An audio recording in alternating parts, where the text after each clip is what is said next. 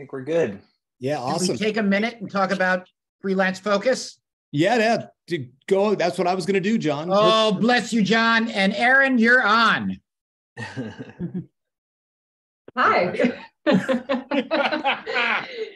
yeah, well, with that lovely intro, um, John, myself, and Matthew Natola, I'm not sure if he's on the call today, but we decided to launch a newsletter. So it's called Freelance Focus. I'll drop the subscribe link in the channel here.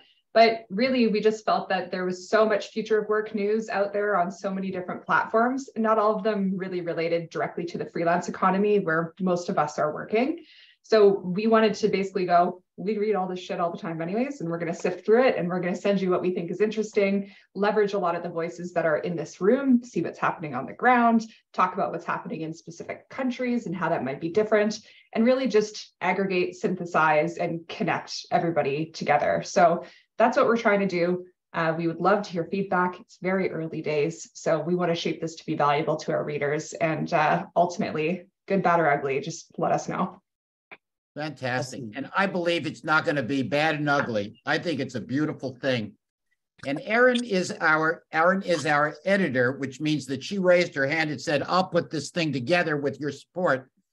And you know, I I did not know that this was a talent of hers, but it obviously is. It looks very good. It's very interesting stuff. I'll write special stuff for every one of the issues. We've got some really interesting people that are also suggesting news, and, and we need all of you. Una Hurley, if you're not telling us the news from Ireland, come on. Oh, So well, please- you know, the, the most important piece of news for us in Ireland is that it's March. And of course, you know what that means. yeah. Uh, not only uh, are we coming up to St. Patrick's Day, we're all Oh going my. to go crazy, but we're having a very special guest to Ireland in Bless you. John Younger and his wife are coming to Ireland, and Peter and I are so excited because we're going to be accepting um, a fantastic uh, honor, and um, we're we're really really psyched about that. We're we're hopefully going to have a, a nice group of people coming along to welcome you and Carol and John. So uh, yeah, we're really really excited and very grateful. Thank you. And John Winsor, you Yes, sir. and Barry and Tom have really been the kickoff for this trusted talent plat- platform partner. I can say that without giggling. And and it's the first time, Una, that that on a mass scale, we've really found 13 very basic and important questions to ask people to get some sense for how well we're delivering to our clients. And you know, if if, if Open Assembly is the the town square of the freelance revolution, we- we're gonna we're gonna need this to make sure that that that becomes a reality in a very strong sense. And guys like Glenn Hodgson know better than anybody else how important it is to have a perspective on who's doing well. So many new platforms don't have the money to advertise, but they need to show that they can break through with their brand. This mm-hmm. is something that can help them break through. So we we think it's going to be very good for new platforms. And may I say that the leader of this, more than anything else, is Tom Matthews at this point. So I think I think Barry is has uh, has done a very very good job in creating the the next manager of Open Assembly tools, including the T2P2. Awesome. Thanks, John. That's a really great announcement. Hey, Marcus, you shot a note to us in the in the chat. Just want to introduce yourself that you're new to, and sorry we didn't get to you. No, uh, I missed the I missed the train. Sorry. So No I'm here. So I was invited by Marcelo Magalhães, who is here, and uh, I'm very happy to be here. And I'm a creative base. I'm executive creative director. Uh, worked for CPB, lived in Boulder for two years in the past. Right, then- man. C- and that's- CCP alumni. exactly, yeah. And CPB Miami as well. Uh, and then Air 23 and the community. So nowadays working as a, you know, with my own hub, uh, partnering with Marcelo in some projects. So pretty happy to be here. Great. Yeah, great. Cool. Thank And then Brandon, I know you have some announcement as well. yeah, just a couple things. Um, Barry and and John Younger are going to be speaking at the Flexible Workforce Summit in Copenhagen. It's on um, March 29th, and I have a discount code if I can find it to anybody who would like to attend. I'll put that in the chat. Um, and then I don't know if you've seen, but we have a couple campaigns going on through you know on social media. It's freelancers of the world and a chart of the week. So if you have any content that you'd like to contribute to this, we're trying to highlight freelancers, what they're doing out there, um, success stories, and um, we can also showcase your platform as well. And then chart of the week is us taking research we're seeing out there, charts, graphs, um, graphics, and putting the OA brand on them, but then pushing them out through our our channels. So if you have anything to submit, just send it our way. We'd love to to put it up there. And Ashley, I don't know if you're paying attention, but I wanted to call on you and just make sure people know that you're helping with um, guests and scheduling out guests in the future and and things like that. So if you want to maybe say a couple things, um, I'll pass the mic to you. Thanks, Brandon. Yeah, and this is so timely. I just talked to Henry at Wazoku about this in our breakout. Um, so thank you, Henry. If there's anyone you come across who you think would be a great guest or feature, um, like a spotlight, someone who's doing really cool things in this space, someone who, um, or a company or a leader who is talking about something that no one else is talking about that should be here um, to talk about here in the space, please send them my way. We are looking for guests um, for the second half of this year. So I appreciate anyone you want to send. Thank you. Thanks. Awesome. Thanks, Ashley. All you, All right, John. jump into it? Let's do it. Yeah. So, you know, I, I know like the rest of you guys, we've, we've all been kind of blown away or amazed by the whole generative AI stuff. Balaji and I've spent a lot of time talking about that. I want to just start, you know, off with one story that I that I had the other day here in Boulder that just just totally blew my mind. You know, certainly on the content creation, it's really interesting, and I've written some stuff on my blog about it, and and um, but I think there's much deeper implications, and so uh, you know, and I, am sure all of us agree, and that's what I kind of want to talk about today. I, I a local uh, CTO that I've known for a while over a few companies said that he, you know, was using I don't know if it, everybody's experienced um, the GitHub Copilot, you know, software essentially helps software engineers complete, you know, software, you know, as they write it. So you know, using generative AI, specifically Chat GPT, because it's a Microsoft product to do that. And he said that he was working on a a new kind of building some new software on top of a new platform that had come out. But instead of using and reading the the manual and, and the FAQs, he decided just to start by using the you know the GitHub Copilot. And so he started and he he worked on his first you know piece of the software and, and it worked well and the second worked really well and it's just blowing him away really being able to use the generative ai to, to help him create these these solutions by the time he got to the fifth one he wrote the software on top of the platform that he's writing on and the software didn't work and he was really confused. So he went back and analyzed the software he and and and the copilot had written and it had all the characteristics it should have worked. So he called the company of the base software and said hey here's my experience for you know successful uses of chat gpt to help me generate this and it works really well on your platform here's the fifth one you know it doesn't seem to work. And they they looked at the code together and the guy from the company said oh my god like that that's some base functionality we haven't created yet. Generative ai predicted what we've got on our roadmap six fronts months from now and created software that will work when we get that base a the base you know the base technology built. And so the ability to kind of predict what's going to happen and be able to operate in that that manner so I thought that was just such an interesting story of, of the potential of, of all this. Um, Balaji and I've had a lot of lot of great conversations. And Balaji, I wanted you to kick this off because now your remit at Deloitte is to look at this whole space.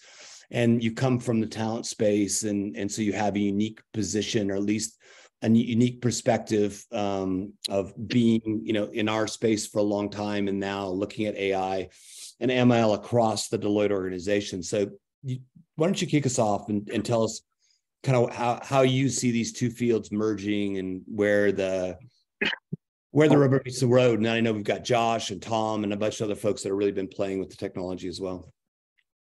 Yeah, and I think you know there are there are um, as I as I think about it, fundamentally, as in the example that you just mentioned, uh, John, let's take it from two perspectives, right? Just from two users.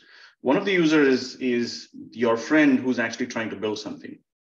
Let's say in the world when ChatGPT or generative AI in general didn't exist, they needed somebody, whether it's their employee or a freelancer, to do that work. Mm-hmm. Now, with so to get to the outcome, that picture behind you is freaky. I'm, I'm, i keep watching it, John, but we'll ignore that for now, and we'll get back to it later.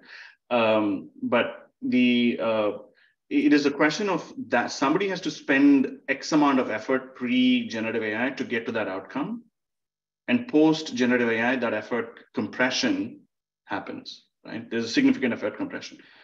And right now, let's say for companies, any company in a services knowledge worker space like us, we're thinking about what is the impact of that effort compression, more so in cases where people are getting paid for the effort.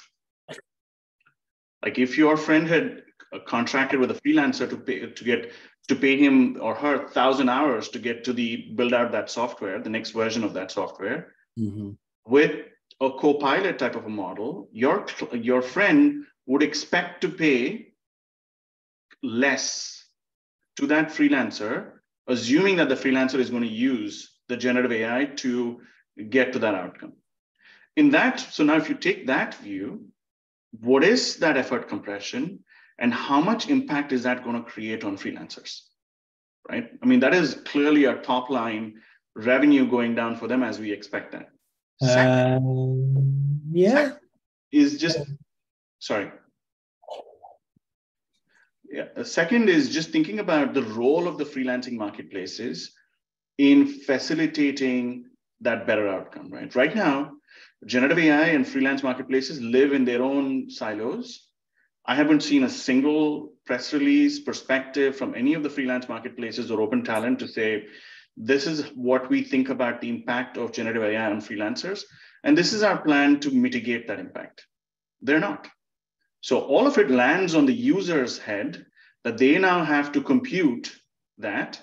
And they are, you know, having to deal with this with this friction, where in many ways, in their mind, generative AI and freelancers are competing with each other versus augmenting it. I think the the end game of this has to look. I don't see OpenAI or any of the Stable Diffusion or any of the generative AI companies getting into freelancing. But it is possible that freelance marketplaces can actually embed generative AI into their make friends with it, bring it in so that if I'm a client and I'm trying to do some research or some code development, the freelance marketplace, based on the scope that was that was put into the request, should be able to say 30% of your work of this code development can happen on generative AI. We have all the large language models or the transformers in the backend. We will generate that first round of code, and we'll have an expert freelancer that knows how to modify that code to get you to the outcome. The freelance marketplace then monetizes that first model, and the freelancer then gets to finish it.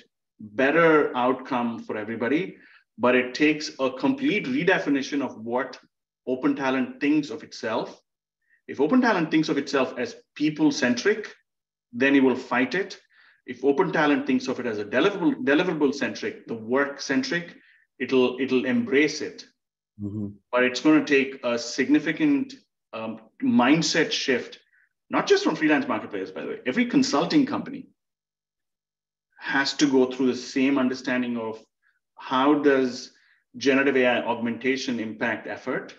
And what does the new business model look like where in specific skill set areas, generative AI will make a significant impact in how clients think of value of the intermediary or of the skilled resource. Yeah, great. That's great, Balaji. Let me, uh, Robert. I'm going to get to you, and I think there's there's something here. You know that Dave said something super important you know Dave Messenger did in in the chat. If you can see that, the GitHub stats that are states that developers are using Copilot generate 40% more lines of code in the same time as developers without Copilot. So something to contemplate and really aligned with you know what you were saying. It's like the enablement layer, right? Right, Balaji. Hey, Robert, you got your hand up, so I'll I'll jump to you.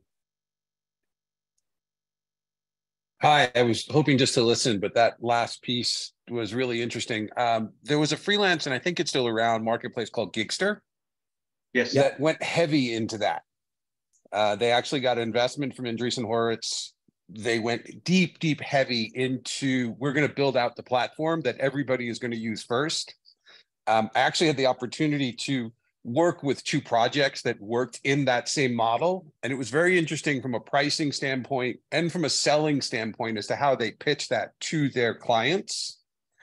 Um, it ended up being a total disaster, primarily because the code itself was not ready, right? And the overcommitment from the sales side was too high. Mm-hmm. And so I think the interesting piece in that is we can see this coming. It's been on the horizon for many, many years but how you manage that expectation. And then what does the follow on look like especially when you need to get specializations right? Because generalized technologies have a tendency to be at one level and then the business usually has some level of specificity that requires some uniqueness. And so i think communicating that balance and managing that's a really important piece but it's a great observation and it's interesting to see it come up so quickly again. Mm-hmm, mm-hmm. no it's a great point robert. No and it also makes me think about you know the kind of for, for me, in my experience, you know, Open Talent started as as outcome based crowdsourcing, right? Like if I needed when I was at Victors and Spoils and I needed, you know, a solution, I would put it out to my to my 10,000 people in, in on my team and you know, a few hundred would lean in and and there would be some interesting solves and we'd buy the outcome. So it didn't really, you know, we and it would be the best outcome, right? And I think that's I wonder if that model is going to going to start to emerge again instead of buying inputs you know freelancers it's buying outcomes that are freelancers plus tools like generative ai and it'll be more than one that you can choose from to get away from not that that kind of uh, expectations gap. Hey josh i know you're working in this in this area, this area. any thoughts? Yeah i mean i'm i'm new to all this stuff um you know especially the talent and, and kind of hr space. And uh, like we were talking the other day winsor we we started implementing the OpenAI API for just trying to figure out how to help our customers with our platform uh, drive more and become more skills based. And uh, there, are a couple interesting thoughts on it. You know, I, I think we we believe the future is being skills based, and then it doesn't really matter if that is gig economy, consulting, people from the outside working on projects, or the internal team. But really, you know, the internal team or the external team if you're driven by skills, then the job role kind of doesn't matter as much anymore. And it's sort of the old way of, of being. And um, you know, I think it's going to be a really, really long time before job roles are deprioritized. But if you think about it, it's it's sort of an antiquated way of managing a team. And um, Balaji, I think it's really interesting. Deloitte has uh, there's a, a, study that came out of Deloitte. Um, I'm sure you're aware of, but it's a, a long uh, position piece on skills-based organizations. There's a bunch of really incredible data in there. But you know, very few of the of the it was I think it was like twelve thousand um, execs were were um, interviewed for this piece, and you know, very few uh, think that their organizations are doing a good job with skills and and kind of managing the skills of their workforce. But almost all of them say managing skills of the workforce is really the way of the future. And so we were kind of thinking about this, and and um, my my business partner and I, the, the guy that I bought the company from, uh, he he's uh, he's been in this market for 15 years, and and you know he's there's this thing that a lot of you are probably familiar with that the federal government puts out called ONET, and ONET's sort of the end all be all um, you know job role kind of uh, state of the, of the world from from the way that the federal government looks at it, and, and so we have the the the um, ONET uh, kind of base job roles listing as sort of a starting place for our clients to use, uh, you know, to, to create uh, their instance with SkillsDB and get, get cranking. And, and it's, you know, it's okay. It doesn't, does its job, you know, for the most part. And we implemented uh, the OpenAI API and ChatGPT, and we are just kind of playing with it. And we started, you know, with, with a bunch of clients, we're like, hey, let's, let's explore some edge case roles and started basically, you know, looking at what those roles are. And it was coming back with a list of of skills associated with those job roles that was 50 times better, 100 times better than what was coming out of the federal government. And there's probably a team of 100 people that create ONET. And so it was it was actually a little scary um, and how good it is. And you know, it's not not quite as, as extensive and, and amazing of an example uh, as as you know building software, but but you know, creating job roles is one of the, the highest friction points for coming and creating an understanding of, of the organization and, and what are the skills and what's what's driving it. And so we found like actually if we decrease the friction of of people coming on board to understand and create the job roles and then subsequently all the skills in the organization, if this technology in five seconds of typing roles can can do what it's doing, I just, you know the future is just incredibly bright in the space. And, and our goal and our hope is that this helps more companies become skills based and skills driven faster because people you know we believe that, that employees and, and contractors workers are much happier when they're being respected and they're working on their skills the things they're really good at and not all the boring crap that we all hate and our teams hate to, to be working on that have nothing to do with the importance of why they're there in the first place. They have to do all this crap and be in meetings and all this you know 80% of stuff that doesn't really matter versus 20% of the skills. And so we're pretty excited about where this is where this is going. Uh, and and we're just, I mean, we're we're 60 days into the, the exploration here. So yeah, just kind of interesting stuff. Josh, can I ask you a follow up there? I mean, if you like, I, I see skills based, or at least the, the language around skills based is still um, employee or at least human centric. Yep. Like there are now generative AI that will create a complete end-to-end UI for you or a complete end-to-end app interface for you based on user stories that you give them. Yep. At that point in time, the skills per se don't matter, right? And this is, I think, one of the most important things that, you know, when Satya Nadella talks about his $10 billion investment, his whole point is it actually finally brings that you know chemical engineer that is doing work in a in a oil plant more value because they were kept away from the IT revolution and the monetization of the IT skills revolution because they didn't have it.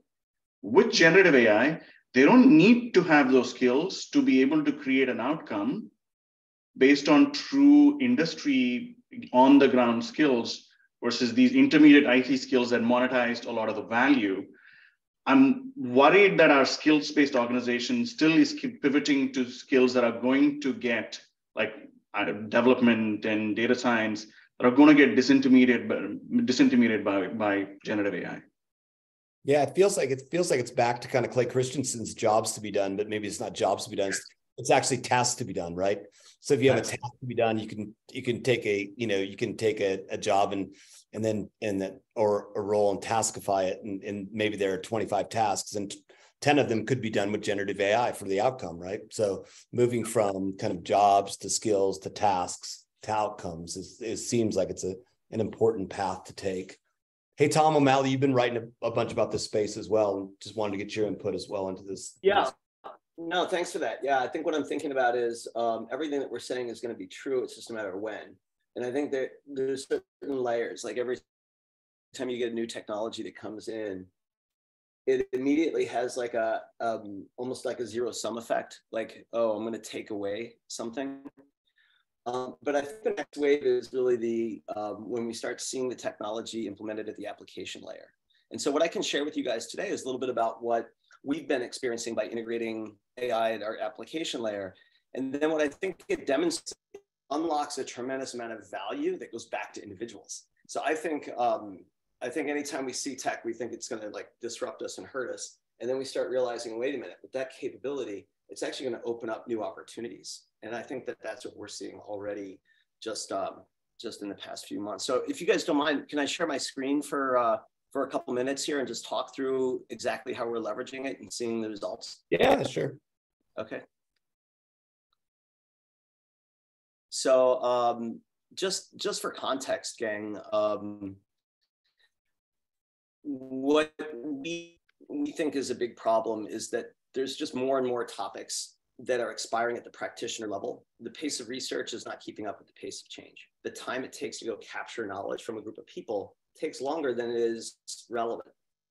And so there's a big loss there. that's the general problem that we see. And you can imagine that if we could apply AI to helping assemble people faster, um, having letting them have just a natural conversation about certain you know jobs to be done, uh, unmet needs, uh, what would, what would need to be true about the ideal future. How do we get there?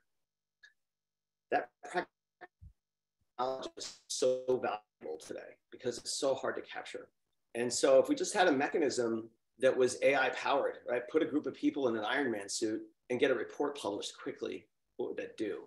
So that's the business that we've been in for a while, but we've been doing it on the custom side. So I'll just skip.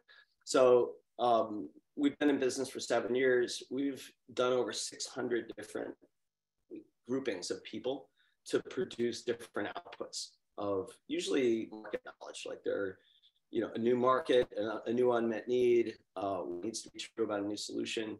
And so we've we've done we've generated thousands of reports with the platform but we've always been automated and gig enabled. We've never been autonomous. And so that's this next layer. And That's why I kind of have a permanent smile now because we've been assembling people, engaging them asynch- asynchronously, and then producing reports from that. And we've been doing that at a certain, call it a certain um, uh, efficiency that's been just shy of disruptive, I'd say. Balaji and I have done a lot of work together. And there's still so much idiosyncratic stuff that occurs in each panel until you can autonomize it and eradicate a lot of that idiosyncratic, uh, idiosyncratic stuff. It doesn't really become like rinse and repeat as you'd like it to be, or as, as cost effective as you want it to be. So we've been building what we call an AI orchestrator over the past several months. The net net is this um, from input to output. So from when clients even first start typing their scope we can use AI to generate an entire scope just from a few sentences, mapping it back to a framework that we, we identify as successful for them. Um, not only that, uh, we can use it to query uh, about like what are the best tags to go look for applicants for this persona or for this problem? What other personas aren't we thinking about? And so it's so much better than asking the client or asking us. Um, so it gets better applicants. It, it, helps us source new ones faster, uh, better when they're engaging, we've replaced the facilitator altogether. We used to pay $3,000 to a facilitator to manage an engagement over a period of, say, four days, an asynchronous discussion. Um, we've replaced that with a bot, and people can't tell. Uh, we even had somebody, we're hosting a panel right now on AI impacting research. And one of the one of the panelists just said yesterday, "Hey, if you guys were really you know, drinking the Kool Aid, your facilitator would be a bot." they don't know that the bot actually is being the facilitator. So it's that convincing because, and I'd say because we're not just making chat GPT calls, we're saying we're giving it the context, the prompt. I'm sure you guys have heard prompt engineer is sort of the new title for how to interact with uh, AI. We've leveraged our 600 engagements to create templates of prompts to then go out to ChatGPT with. So when we get a response, it's so much more meaningful. Um, so that's really important. I think people should understand there's ways to enhance the, the call. Um, and then the other thing that we're doing is we're using it to help distill the conversation and bring out insights that a human may not see, uh, connect ideas, uh, identify who's in agreement, where's the, where's the disagreement. And then it's also being used to then publish the outputs. So already, just in the past couple of months, we've cut our time to insight down We've reduced our hard cost. We've um, almost doubled engagement because now somebody's reacting to your idea in real time, or it feels like somebody is. And uh, what we're moving to is uh, a scale that's uh, really transformational. Um, and so here's the net, I guess here's the punch to the story is that without AI, we would have never been able to achieve the scale, which means we would have been stuck in this custom like service business, which is really hard because managing clients is just not fun. It just takes so much time. So what we're doing is moving to a syndicated model, eroding that cost and opening it up for anybody to come and create a panel on any topic. And it'll probably have some density, maybe AI Web3 for a while. But we believe that every company, every group, any individual, John, you, you could self organize a panel on any topic just by being the curator. Let those people come together, generate a report, publish it in a marketplace. Maybe it sells for 300 bucks a download, but it sells a thousand times. 80% of that goes to the panelists and yourself. So we're building a marketplace that we would have never been able to achieve if we weren't able to, uh, um, you know, leverage AI for this level of scalability. And when you do the economics on this, a lot more money goes back to the participants than what we're sharing today. So we think the net gain is creating new models, creating new ways to collaborate, augmenting people's behavior, putting them in iron suits so they can create more value with less effort and then monetize that in, in new ways. And that's hopefully what came across here with these slides. Yeah, great, Tom. No, this is good. Great, great example. I think the thing I kept hearing from you that's super important that I've heard a lot, and Balaji, you and I, you you shot me a note on Balaji. This idea of prompt engineering that the that the real key to this whole thing is like how you know what are the questions you ask and and, yeah. and how do you engage with it, right? Because but, um, like I feel like that is even limiting, right? I mean, I feel like there's enough data for you to create AI-based personas. One, let's say if you take the conversation of AI-based research, there's one person, an AI can play the persona of a CXO level executive that is looking for insights. Uh, you can create 25 AI personas that can generate all the engagement. I know Karen will say people are important. Yes, they they are important but if you if the company's output is they want to generate an in, insightful report i feel like you can train ai to do that engagement. And of course you can still have people. Well I, at least what i've been seeing with generative ai if you and again that's how people are hacking ChatGPT, which is you ask ChatGPT to say, can you take on this persona with this expertise now and now answer the questions from that vantage point? It is mind blowing how much it can do that. And john given how much of your writing is out there i'm sure the ai can talk like you and your perspectives very comfortably. And i think that changes um, the the amount of engagement the, the levers that you're showing there tom which will happen whether we want it or not it, it is going to happen. Like Reid Hoffman, the guy who does, um, you know, Greylock and co-founder yeah. of LinkedIn, is actually starting a podcast where he basically is having conversation with AI on different topics. And he thinks that is the most fascinating topics conversations we'll have where he's just sitting and talking to an AI bot about mm-hmm. any topic in the world. It's already happening. So, so just to counter that a little bit, uh, is that I mean, generative AI, guys, is is content being generated from content, and so it, that will always be its limitation. Without the introduction of fresh knowledge, I mean, you look at there was reference to Clay Christensen, and what he focuses on a lot is you know jobs to be done, of course, which means unmet needs, and unmet needs require human experience, creativity, emotion, biases, attitudes, fears, anticipations, cultural nuance. And yes, I know that that the AI will be able to mimic what's what's been available, but given pace of change, I, I believe that you, you still need to introduce the fresh human inputs to know that you're getting something of value. Otherwise, you could just be recycling the past. So, but but I again only slightly countering what you're saying. I, I think the mm-hmm. human engagement is irreplaceable. Agreed. It's it, it's interesting, right? Because I I take the long long view on this, and you know I know a lot of people are worried about what does this mean for people, and and you know it, it's going to replace people. I I often think of the story of when you know when I was in in junior high my dad owned a newspaper in Illinois. I think they did a million and a half dollars of revenue. And there were probably 75 people that worked there, 70 people maybe.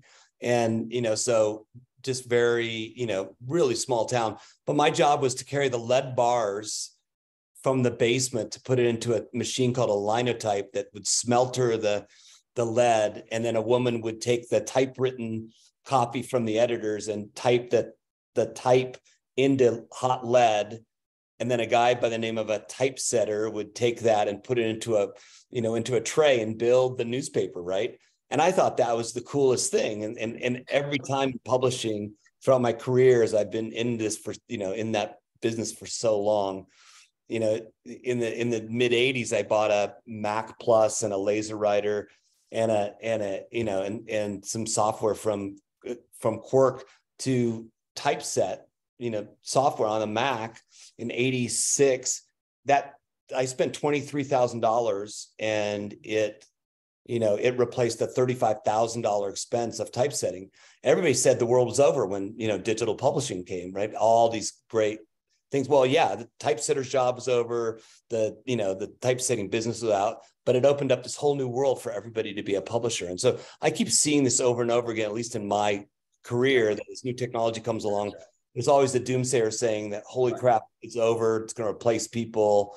You can't do that. And then all of a sudden, it really ushers in a new, whole new age of employment. So anyway, lots to discuss. I know Robert, you have a question as well.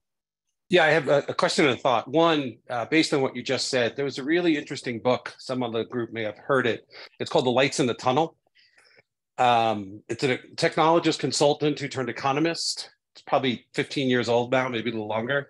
But his basic theory is at some point, the technology, right, outpaces our ability to bring the lower middle class to the middle class and keep rising up, which is kind of what you're describing.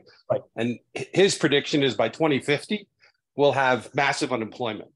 Mm-hmm. Um, so I do think, and I think Deloitte is on here, right? Deloitte's been publishing studies for the last 10 years of these are the types of jobs that may be out automated. I think we are starting to hit a cycle that's potentially different than what we have had in the past. Humans are good. Um, yeah, humans are good, right? Go yeah. ahead. Sorry. No, no, I was just going to respond. I think that's a really good point. The speed of innovation outstrips the ability for people to learn, right? Yeah. And. And, and I think that's a really, really, really valuable point. Yeah. So and then, I, I want to push back on, you know, I think the the the notion that we are all should be comfortable that this new generation of AI will create more jobs. I, I think we we have to be very, very, I don't think it is that easy imagine when it was manufacturing jobs that, that were pushed out they're like oh all of you should go into services jobs all of you should go into uh, IT jobs. Now, the IT jobs are being taken over, the knowledge and expertise jobs are being taken over by AI. What, where do you, what is the next, where do you think the people are going to go? Do we have an house cleaning? House cleaning, right? That's the one thing we haven't figured out yeah, yet. yeah, yeah. It isn't that, that simple anymore. I think we have no, to be I totally agree. more, um, a little bit more inquisitive about the, just questioning that old paradigm totally agree. And then the second point, I just wanted to jump in. Um, I'm starting to work on a new podcast, and I wanted to create. Uh, I needed to prototype it, right? I didn't want to borrow other people's time, and so I wrote my part, and then I used ChatGPT to simulate, and then I threw it into a voice synthesizer, Murf, and created, you know, a 10 minute podcast so that I could share it with people in less than an hour and a half that I'm not suggesting that it was right. It was very kind of basic, but it was able to show the arc and literally be a podcast that somebody could listen to.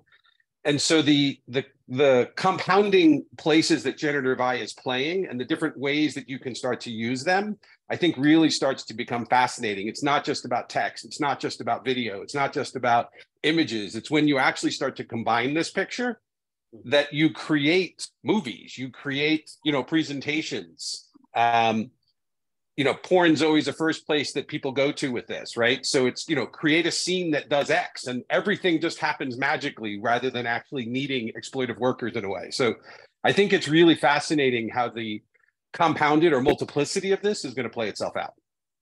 There's that, a data, that was all I would say. You guys all know Matt Mottola. He yeah. sent out a uh, like his his news article from Human Cloud, and this blew my mind away how many workers did you need in a large company to generate a million dollars in revenue? It is right now, most companies are becoming less labor intensive to generate the same or more revenue. We're getting so this thing that this is going to create, keep creating new jobs. It's creating every wave is creating less less skilled roles and less skilled jobs I think it is, I, am not sure there's an answer to it, But I'm I think with AI specifically going after services sector, with manufacturing being disrupted in the past, I don't know where people will go next. Mm-hmm. There's a uh, belongs. There's a, a, a, a sort of a dated video, uh, and it was on YouTube called "Humans Need Not Apply." It's probably ten yep. years old now, and there was a, there was an accompanying book called "Rise of the Robots" that talks exactly about what you're talking about, and that the fact that technology will take over jobs that can't be recreated, the whole aspect of UBI, universal basic income, all of those things that are coming out simply because you cannot replace the jobs at scale that are going to be displaced by AI. Just to to jump in here, the, the person that wrote the book I referenced, Lights in the Tunnel, wrote the book you just referenced. Mm-hmm. So it's actually the same source referencing that for whatever that's worth. That's great. And it's a great book to listen to. Hey, hey, Classic. Steve. Steve, you've been waiting to talk, and I, I always love to get Steve's perspective because he's our resident researcher doing deep research in, in, in all things, you know, talent and and and open talent. So, any thoughts well, here? Well, I'll, I'll try to be a little more optimistic about the future. Um, the the four words that are most wrong in forecasting is this time is different, and it doesn't mean this time's not going to be different, but um, historically we've had mass automation wipe out mass sections of the economy. And I love the chart where Balaji's chart, I love the chart that shows the number of employees per company falling like a rock. And yet we have 50 year low unemployment rate today. And so that long term trend hasn't killed employment. Um, yeah, I, I think there's a lot of jobs that are going to get lost. People are going to get hurt. Um, you know, I go back to the manufacturing decline and how it destroyed many cities um, in the US and around the world. And a lot of people were definitely hurt. But we also do create new jobs. So maybe this time will be different. Um, but every time we've looked at this, um, in the 1980s, bank tellers were going to disappear. And guess what? As of 2020, we had more bank tellers than we did in 1980. That trend is actually starting to fall now. In 2014, the Oxford Institute put out a study that was widely followed that said by 2020, most accountants would be out of work.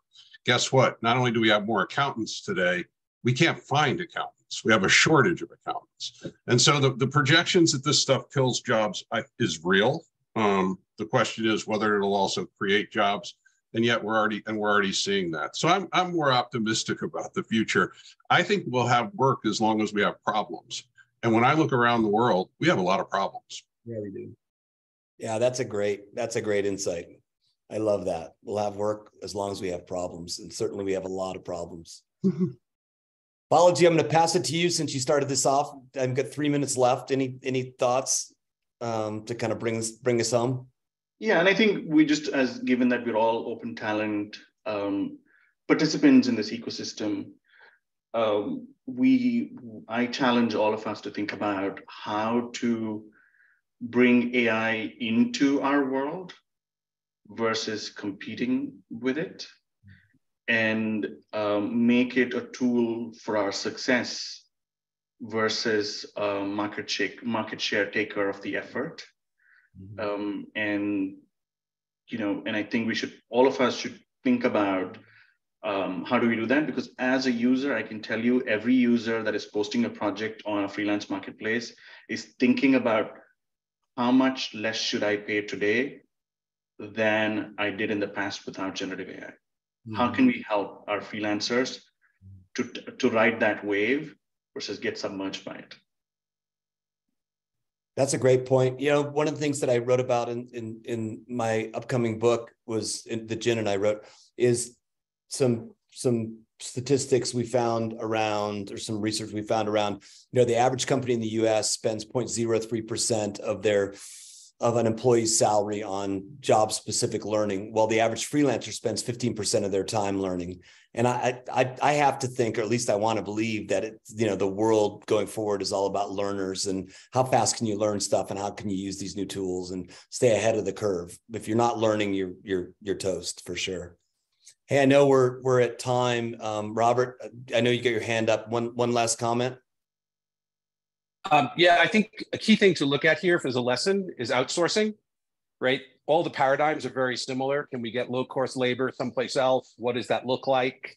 Um, and we know what that does to many projects, right?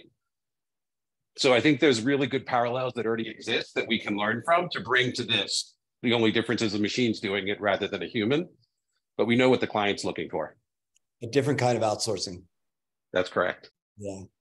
Awesome, awesome conversation, guys. Thanks. Let's keep up the dialogue and reach out to each, you know, to everybody individually, and let's keep it keep it going. Look forward to hearing new thinking the next time we get together. And you know, please shoot me a note if there's uh, anything that you want to connect on, or I can connect you to anybody else on the call to, to further the conversations. Thanks all. Love you guys.